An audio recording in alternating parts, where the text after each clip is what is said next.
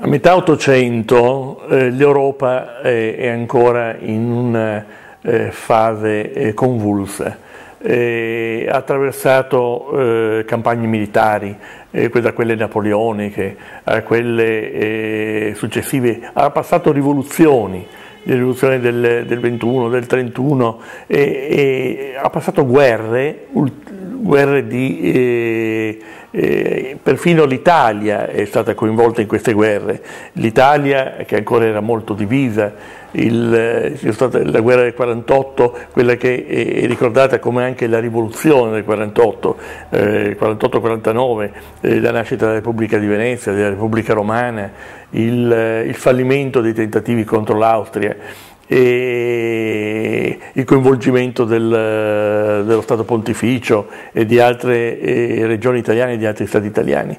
E, è ancora un'Italia divisa nel 1850-51.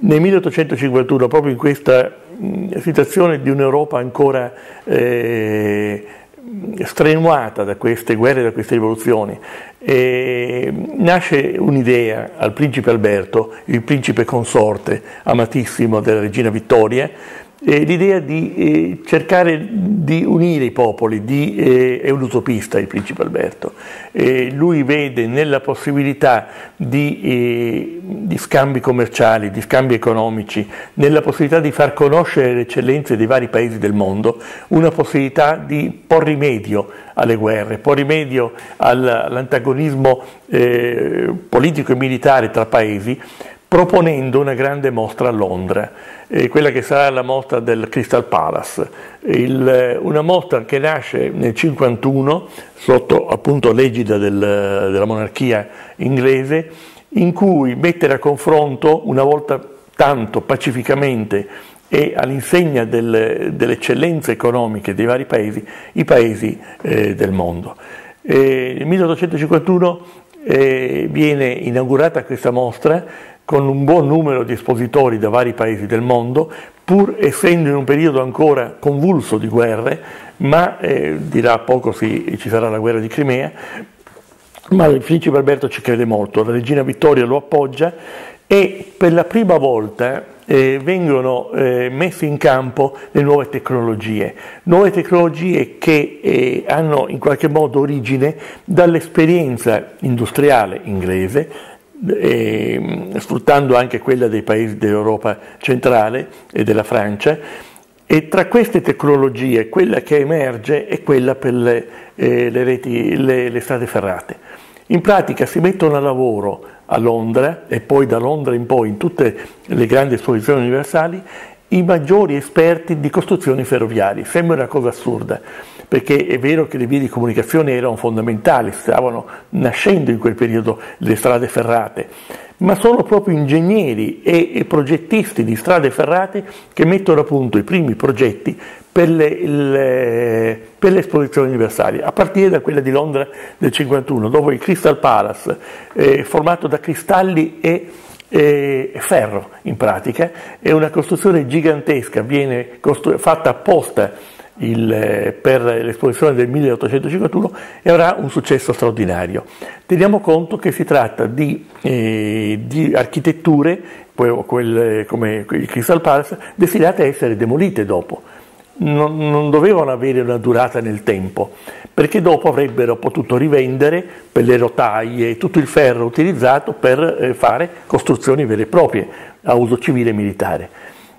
Il Crystal Palace in realtà non venne demolito, venne spostato successivamente, ma ebbe un grande successo. Naturalmente eh, cominciò eh, con l'esposizione di, eh, universale di Londra, la prima eh, considerata grande eh, esposizione universale del mondo, a diffondersi il, il, la eh, coscienza in tutti i paesi dell'importanza di mettere in mostra le proprie eccellenze, le proprie eccellenze artigianali, artistiche, eh, ma anche industriali, commerciali, il, le grandi produzioni, dal, dalle produzioni eh, agricole alle eh, produzioni meta, eh, meccaniche, eh, dalle eh, costruzioni ferroviarie a quelle utilizzate per servizi civili, le vie di comunicazione.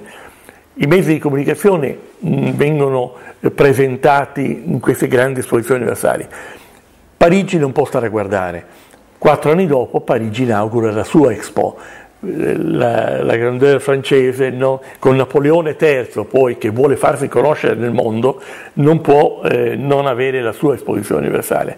E quindi eh, nel 1955 nasce un'altra esposizione universale. l'Italia ancora non partecipa a queste esposizioni universali dove il numero dei paesi anche per le guerre ancora in corso è piuttosto limitato ci sarà una nuova occasione nel 62, ma anche in questo caso eh, l'Italia parteciperà solo in modo occasionale e non ufficialmente. L'Italia era, aveva appena combattuto la guerra del 59 contro eh, l'Austria, aveva, c'era stata l'unificazione d'Italia nel 61 dopo la spedizione eh, dei Mille eh, era ancora in alto mare col brigantaggio, quindi non partecipa ufficialmente alla lotta, alla lotta al brigantaggio, non partecipa ufficialmente a quella di Londra, ancora voluta dal principe Alberto, ma è anche l'anno della morte del principe Alberto. Quindi una Londra in lutto con le, eh, fasciata di nero ospita una seconda esposizione universale londinese, sarà anche l'ultima. Dopo la, l'Inghilterra si asterrà dall'organizzare grandi mostre universali e sarà la sua ultima esperienza, poi si limiterà a fare mostre eh, a livello nazionale o tipologiche. E all'indomani del, della mostra di, di, Londra si comincia a progettare una mostra in terraferma, diciamo, in, in Francia. E una seconda mostra a Parigi viene organizzata eh, nel 1867 e, e, per la prima volta l'Italia partecipa ufficialmente a questa mostra. È uscita dalle guerre eh, a fianco della Prussia eh, contro l'Austria, è uscita vittoriosa grazie soprattutto alle, alle armi eh, francesi, il, eh, no, prussiane, scusate, e, il, eh, e l'Italia può finalmente permettersi di partecipare è già una buona partecipazione. Chi è che si presenta per l'Italia? Produttori vinicoli, chiaramente, e prevalgono quelli siciliani e piemontesi naturalmente, ma c'è anche una presenza veneta eh, di, di, di, vini veneti. Prodotti agricoli, Italia, Italia, Italia è ancora un paese molto povero, povero, è un paese molto arretrato, sono pochi i grandi eh, geni dell'economia che eh, riescono a mettere a punto eh, e a, predisporre te- eh, i mezzi tecnologici avanzati, ma anche produzioni avanzate dal, dal punto di vista agricolo. E solo un Alessandro Rossi, grande, eh, grande personaggio vicentino, il, eh, riesce a eh, con altre menti eh, come eh, Luzzatto, eh, i Camerini, a mettere a punto dei progetti grandiosi di città della, dell'artigianato, città dell'industria, ma eh, per il resto il Veneto è ancora molto povero. Però ha tantissima, eh, ha una produzione variegata e di grande, eh, di grande portata. C'è un Vincenzo Stefano Breda che con le acciaierie di Terni che poi si sposteranno e porteranno la loro produzione anche nel Veneto, eh, acquista sempre più potere e il potere economico va di pari passo con il potere delle imprese bancarie, degli istituti di credito. Tutti i, i Wallenberg, il Luzzatto, i Breda sono eh, strettamente collegati alla nascita delle, grandi, delle prime banche, delle casse rurali, del, perché senza il credito l'industria e l'artigianato non vanno avanti e, e neanche la, la, le grandi imprese come quelle di Alessandro Rossi, eccetera fondatore della Nerossi di Schio, insomma. E, ecco che quindi dal 67 l'Italia comincia a partecipare alle esposizioni universali. Nel 73 si ripropone un'altra ghiotta occasione per l'Italia, la partecipazione alla prima e unica esposizione eh, mondiale di Vienna. L'Austria solo eh, quella volta riuscirà eh, a organizzare un'esposizione universale, poi vi rinuncerà per le note questioni collegate alle sconfitte che, che l'Austria comincia ad annoverare numerose. Eh, e l'esposizione di Vienna al Prater eh, con la grande ruota, eh, anche Parigi aveva inaugurato la sua grande ruota negli anni pre- precedentemente, anche al Prater ci sarà questa grande ruota eh, viennese. E anche qui la tecnologia la fa da padrone. Le grandi ruote eh, sfruttano sempre le strutture inventate da ingegneri ferroviari. Perché parlo sempre di ingegneri ferroviari? Perché il, già allora era in piena attività un Eiffel, quello che nel 78, all'esposizione universale di Parigi del 78, eh, proporrà quello che è l'anima del, eh, del, eh, della statua della libertà.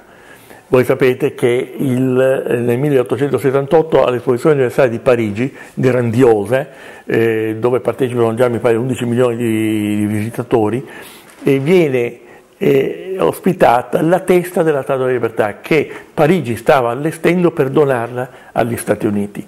Il, doveva eh, donarla per il centenario della rivoluzione americana in pratica.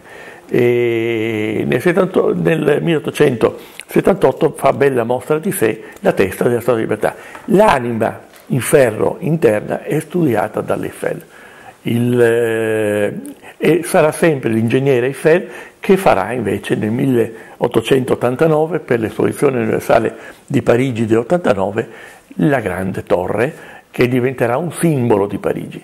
E pensare che tutte queste strutture, come il Trocadero, eh, altra struttura straordinaria, padiglione, creato apposta per la mostra di Parigi eh, del 78, eh, diventeranno permanenti, dovevano essere demolite e destinate al riutilizzo. Invece diventeranno simboli stessi di Parigi e non verranno mai più demolite. Il Trocadero sarà sostituito molto un secolo dopo. La Torre Eiffel no, chiaramente. E nelle, eh, nelle, foto che restano di quell'epoca si vede la Torre Eiffel alle varie fasi della costruzione ed è emozionante vedere le, come il pubblico in queste foto assiste stupefatto alla, a questa enorme costruzione. E l'Italia partecipa sempre più attivamente a queste esposizioni.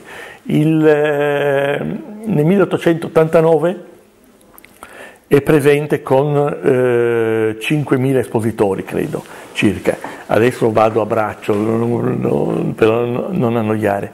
Ma eh, Parigi fa la parte del leone, come si vede, ha già ospitato nell'89 varie mostre. L'89 è, è importante perché è l'anniversario, il centenario della rivoluzione francese i, i, I, problemi politici, gli attriti politici si manifestano subito in quell'occasione, perché la rivoluzione francese è un inno alla Repubblica e la Francia aveva tutto l'interesse a inneggiare alla Repubblica, ma non gli altri paesi monarchici, dall'Italia alla Russia, alla, all'Austria, all'Inghilterra. In pratica c'è un boicottaggio del, del, del, dell'Expo di Parigi del 1889, boicottaggio ufficiale, però il, i paesi, le, gli interessi economici che sottendono a queste esposizioni universali fanno sì che l'Italia partecipi in, mo, in modo informale. Partecipano migliaia di eh, espositori italiani privatamente, diciamo. E, e il successo è notevole anche per i nostri espositori, anche espositori veneti che portano le loro eccellenze abbiamo uh, tipografi, abbiamo artisti, molti artisti venezi, eh, eh, anche veneti partecipano con i loro quadri. Ecco, eh, una cosa da dire è che le esposizioni universali che sono fatte e nate per un, eh, far conoscere la valenza economica e la modernità delle produzioni dei vari paesi del mondo è anche una vetrina, per una grande vetrina per l'arte e l'Italia non può che eccellere nell'arte, chiaramente, per cui moltissimi espositori eh, italiani sono artisti, artisti che portano i loro quadri, certe volte portano anche eh, un solo quadro, eh, però il, eh, sono nomi famosissimi che, eh, del, del, del, panorama artistico italiano, anche veneto, eh, personaggi di grande rilievo. Ma gli artisti non sono solo protagonisti dell'Expo eh, come espositori, sono anche protagonisti dell'Expo dall'89 in poi soprattutto, eh, con quelle successive, direttamente nell'allestimento delle esposizioni. Sono loro i più grandi illustratori, eh, mostrano al mondo il, eh, la, la, bellezza, la, la grandiosità dell'esposizione. I più grandi illustratori illustrano i manifesti, le locandine, le cartoline che vengono stampate per, le, per quelle occasioni.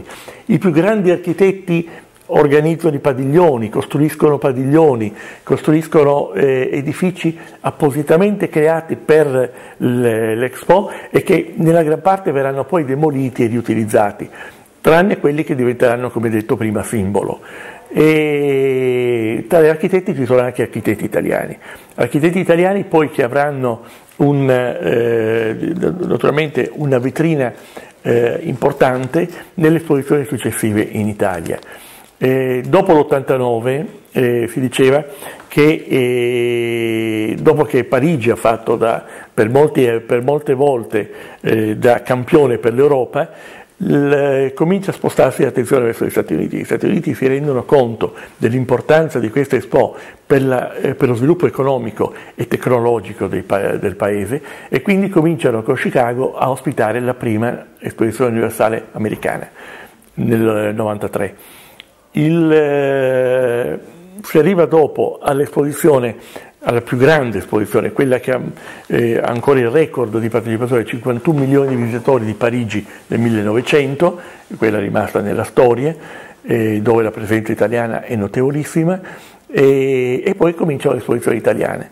Le esposizioni italiane, a cominciare da quella del 1906 a Milano, quindi un secolo prima dell'ultima fatta a Milano nel 2015, eh, le esposizioni in cui l'Italia mette in mostra le sue eccellenze costruisce padiglioni straordinari, ma soprattutto eh, stupiscono i visitatori la linea ferrata sopraelevata che congiunge le due parti, il Parco del Sempione e il, eh, la Piazza d'Armi, dove si, si espone eh, separatamente da, da, una parte e dall'altra del Castello Solfesco e rende questa linea ferrata sopraelevata stupisce per la modernità. Ma eh, sono presenti i primi aeromobili, vengono messi in mostra le eccellenze tecnologiche, d'altra parte è il, l'esposizione di Milano è l'esposizione dei trasporti. Si inaugura nel 1906 la Galleria del Sempione e a quella è dedicato, il, come si vedrà anche nei manifesti, nelle locandine, il, eh, è dedicata la mostra del 1906. Nel, il manifesto più bello, il più noto, l'immagine più bella, illustrata dal grandissimo artista anche questa, è quella del ferroviere che esce eh, sulla locomotiva dalla galleria del Sempione con in testa un casco con, che in realtà è un mercurialato. Il, eh, ecco, Milano dà stura a, a questo nuovo eh, si cominciano a vedere i primi manifesti di impronta futurista, e la Belle Époque ancora esplode nel, nei decori, nell'arte, nei padiglioni dedicati all'orificeria il, e anche alle giostre.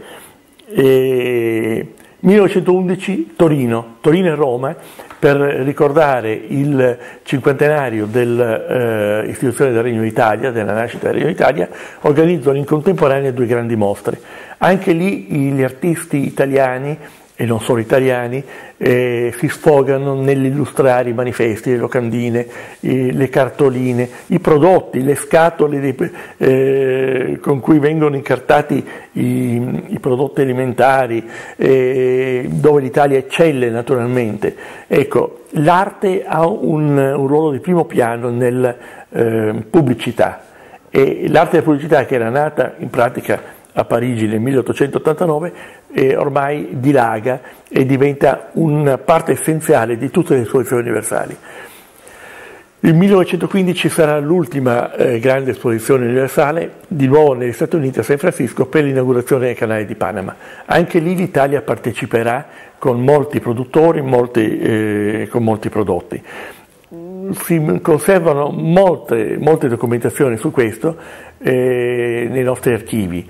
Bisogna dire che però il 1915 sarà anche l'anno eh, in cui si sospenderanno. Dopo il 15 c'è la guerra, siamo in piena, anzi si inaugura a San Francisco, mentre in Europa siamo in piena guerra mondiale e quindi poi ci sarà una pausa, una lunga pausa e dopo la guerra eh, sarà l'epoca delle esposizioni campionarie, delle mostre campionarie, quindi regionali, locali, e la prima in assoluto che, che eh, verrà allestita nel 1919 è proprio quella di Padova, eh, la fiera campionaria di Padova, che è una grande vetrina. Il Veneto vuole rendersi eh, mediatore tra Occidente e Oriente. Venezia ha ancora questo sogno di essere un punto di unione tra Occidente e Oriente e Padova eh, inaugura questa mostra campionaria dove eh, Oreste da Molin è uno dei personaggi, degli illustratori, dei, degli artisti eh, che fa da padrone. Ma il eh, viene soppiantata l'anno dopo, il suo sogno di diventare un polo importante, eh, un trade tra Occidente e Oriente, viene, eh, viene annichilito dalla nascita della Fiera Campionaria di Milano. L'anno dopo questa diventa la, la, la, fiera più importante dell'Alta Italia, sarà quella che avrà un ruolo di unione tra Occidente e Oriente e, e, di, mm, e diventerà eh, d'altra parte Milano è anche l'area industriale per eccellenza, non potrà che soppiantare l'importanza del, della mostra campionaria veneta. Ecco, e quelle successive saranno mostre campionarie, saranno mostre coloniali, il, eh, già nel, nell'Ottocento c'erano state le prime mostre dedicate alle colonie, il Belgio aveva organizzato una grande mostra ad Anversa, nel, eh, dopo il 21 eh, si inaugurano varie mostre coloniali anche italiane, nei paesi, eh, nella Libia per esempio, eh, ma sono mostre in cui l'impronta nazionalista è ancora è, è fortissima.